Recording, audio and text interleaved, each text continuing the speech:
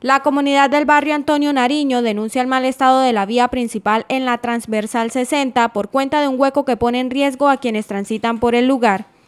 Desde el barrio Antonio Nariño, eh, transversal 60, ahí vemos un hueco que se hizo por tema del alcantarillado, un hundimiento, el cual puede causar un accidente.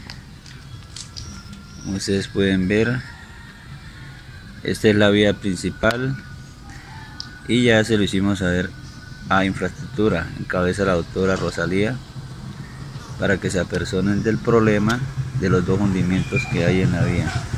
Los habitantes de este sector esperan la pronta reacción de las autoridades competentes para la solución ante esta problemática.